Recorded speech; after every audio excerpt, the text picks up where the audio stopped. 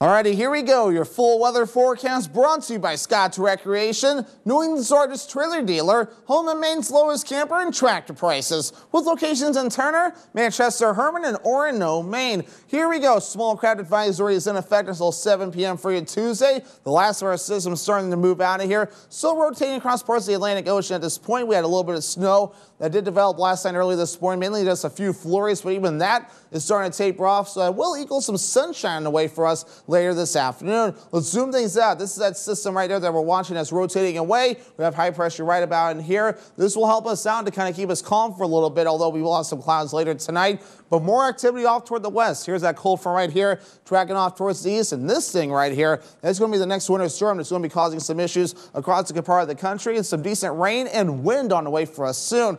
Futurecast in the short term looking pretty good with a mixture of clouds and sunshine. We'll watch for more clouds later on tonight, but then by tomorrow, look what happens. We get the clouds out of here for a while, but still overall the general idea will be a mixture of clouds and sun as things kind of start to move again as the next system starts to get close to us. So not much precipitation with it at all. We'll just have the clouds moving in, at least as we head towards Thursday morning.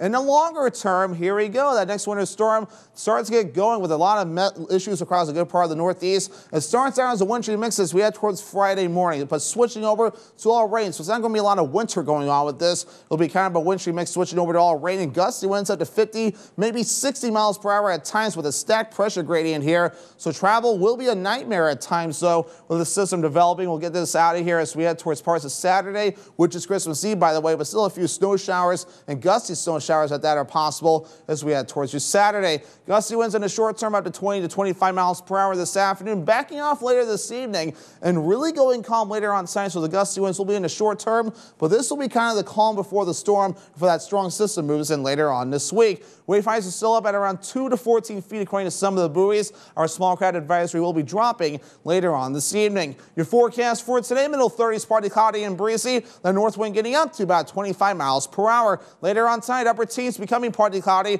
The north wind getting up to about 5 to 10 miles per hour. Tomorrow, middle 30s, partly cloudy with the wind overall looking nice and calm. Scott's Recreation extended forecast. So here we go. We're dry on Wednesday with temperatures in the mid 30s, partly cloudy. More clouds Thursday, mostly cloudy, highs in the mid 30s. Our winter mix changing over to rain will happen on Friday. That high temperature is not a typo. That will actually be in the lower 50s, but then we'll fall into the upper 20s on Saturday with rain and snow showers yet again.